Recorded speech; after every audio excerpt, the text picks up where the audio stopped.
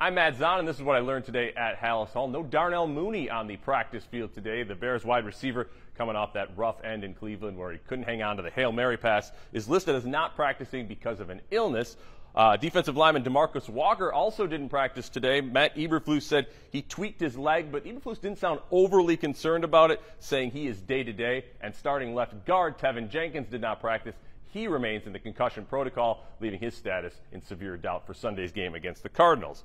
Justin Fields and Jaylon Johnson both asserted that despite last week's crushing loss that all but ended their playoff hopes, this team still will keep fighting, still has something to play for. As Fields put it, they play for each other whether they're in the playoffs or in not, not in playoff contention. Jaylon Johnson also answered questions about his future as these could be his final three games in Chicago. He said he definitely would prefer to get a contract extension done even before testing waters in free agency. He said he couldn't see himself playing anywhere else and feels they're, quote, building something special here, end quote, and he would like to see it through. He said he wants some more wins in Chicago and he wants to make a playoff push at some point with the Bears.